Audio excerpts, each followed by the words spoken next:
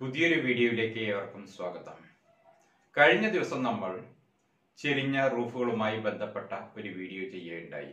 അതിൽ നമ്മൾ സ്ലോപ്പ് എന്താണെന്നും പിച്ച് എന്താണ് എന്നും പഠിക്കേണ്ടായി ഇന്ന് സമാനമായ മറ്റൊരു ടേം കൂടി പറഞ്ഞു തരാമെന്നാണ് കരുതുന്നത്.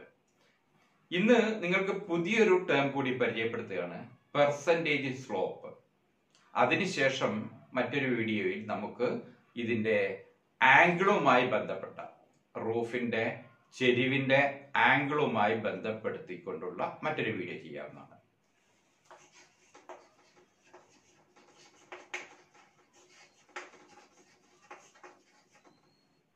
ഈ പദം സൂചിപ്പിക്കുന്ന പോലെ തന്നെ സ്ലോപ്പിന്റെ പെർസെന്റേജ് എത്ര എന്നാണ് ഇതുകൊണ്ട് ഉദ്ദേശിക്കുന്നത്. ഒരു ഉദാഹരണത്തിന് ഇതേപോലെ ഒരു റൂഫ്.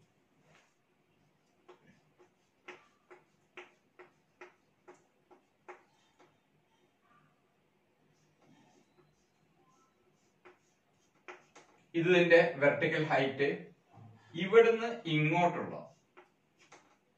ലെങ്ത് ഇതിന്റെ ഹൊറിസോണ്ടൽ ലെങ്ത് എന്ന് നമ്മൾ പറയേണ്ടായി. ഇതിന് മറ്റൊരു പേര് കൂടി നമുക്ക് പറയാം.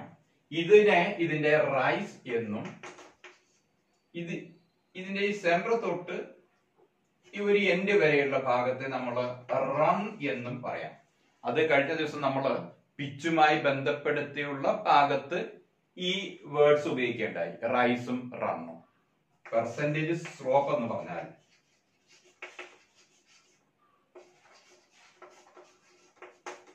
rise by run into hundred ആണ്. ഇവിടം തൊട്ട് ഈ അറ്റം വരെയുള്ള ഈ ലെങ്ത് ഒരു അമ്പത് അടിയാണ് എന്ന് കരുതുക. എന്ന് മാത്രമല്ല ഇതിന്റെ ഇവിടുന്ന് ഇങ്ങോട്ടുള്ള ഈ ഹൈറ്റ് എന്ന് പറയുന്നത് ഈ വെർട്ടിക്കൽ ഹൈറ്റ് എന്ന് പറയുന്നത് അഞ്ചടിയാണ് എന്നും കരുതുക. അപ്പോൾ അങ്ങനെയെങ്കിൽ ഇതിലെ റൈസ് എത്രയായിരിക്കും?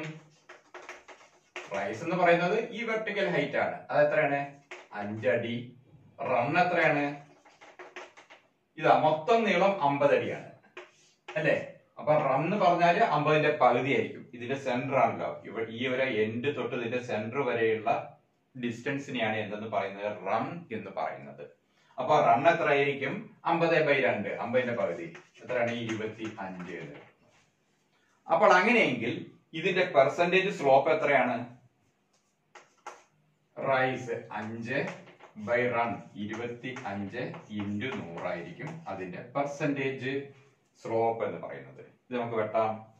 ഇരുപത്തിയഞ്ച് നൂറൂടെ എത്ര പ്രാവശ്യം പോവും? നാല് പ്രാവശ്യം പോവും അല്ലെ? നാല് ഇന്റു അഞ്ച് എത്രയാണ്? ഇരുപത് ശതമാനം. പെർസെന്റേജ് പെർസെന്റേജ് സ്ലോപ്പ് എന്ന് പറയുന്നത് എത്രയാണ്?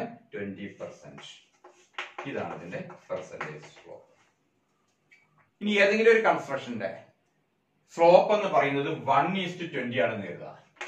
വൺ ഈസ്റ്റ് ട്വന്റി ആണെന്ന് എഴുതുക. അങ്ങനെയെങ്കിൽ അതിന്റെ പെർസെന്റേജ് സ്ലോപ്പ് എത്രയായിരിക്കും? നമ്മൾ ഇന്നലെ പറയണ്ടായി ഈ റേഷ്യോ എഴുതുമ്പോൾ ആദ്യം ഉള്ളത് എന്താണ്? അതിന്റെ വെർട്ടിക്കൽ ഹൈറ്റ് ആണ്.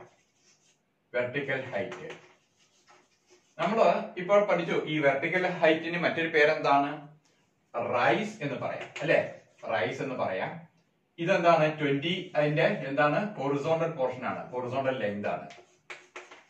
കഴിഞ്ഞ ദിവസം നമ്മൾ പഠിച്ചു. ഹൊറിസോണ്ടൽ ലെങ്ത് എന്ന് നമ്മൾ കഴിഞ്ഞ ദിവസം പഠിച്ചു. ഈ ഹൊറിസോണ്ടൽ ലെങ്തിന് മറ്റൊരു പേരുണ്ടല്ലോ. അത് നമുക്ക് ഏത് ഉപയോഗിക്കാം? റൺ എന്ന് ഉപയോഗിക്കാം. അല്ലെ? ഹൊറിസോണ്ടൽ ലെങ്ത് എന്ന് പറയുന്നത് എന്തായിരിക്കും? റണ്ണുമായിരിക്കും അപ്പൊ അങ്ങനെയാണെങ്കിൽ പെർസെന്റേജ് സ്ലോപ്പ് എന്ന് പറഞ്ഞാൽ ഇപ്പൊ എത്രയായിരിക്കും? Rise by run into hundred equals rise ഇവിടെ എത്രയാണ്? ഒന്ന്. ഒന്ന് ബൈ ഇരുപത് ഇന്റു നൂറ്. പൂജ്യം. ആ, അഞ്ച്. ഒന്ന് ഇന്റു അഞ്ച്. അല്ലെ? അപ്പൊ എത്ര പെർസെന്റ് ആയിരിക്കും? ഫൈവ് പെർസെന്റ് ആയിരിക്കും അതിന്റെ പെർസെന്റേജ് സ്ലോപ്പ് എന്ന് പറയുന്നത്.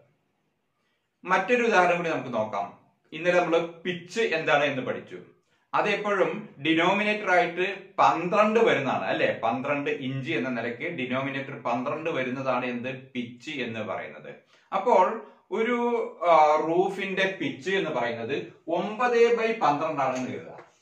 ഒമ്പത് ബൈ പന്ത്രണ്ട് ആണ് എന്ന് കരുതുക. അങ്ങനെയെങ്കിൽ അതിന്റെ പെർസെന്റേജ് സ്ലോപ്പ് എത്രയായിരിക്കും? അത് നമുക്ക് ഇതേപോലെ തന്നെ ചെയ്യാവുന്നുള്ളൂ അപ്പൊ പെർസെന്റേജ് സ്ലോപ്പ് എന്ന് പറഞ്ഞാൽ ഈക്വൽസ് ഒമ്പത് ബൈ പന്ത്രണ്ട്. അല്ലെ? പിച്ച് നമ്മൾ എഴുതുമ്പോൾ എന്താണ്? റൈസ് ബൈ റൺ തന്നെയാണ് ഈ പിച്ച് എന്ന് പറയുന്നത്. അല്ലെ? അപ്പോൾ ഒമ്പത് ബൈ പന്ത്രണ്ട് ഇന്റു നൂറ് ഈക്വൽസ് നമുക്ക് കാൽക്കുലേറ്റർ ചെയ്ത് നോക്കാം. ഒമ്പത് ഇന്റു നൂറ് തൊള്ളായിരം ബൈ പന്ത്രണ്ട്.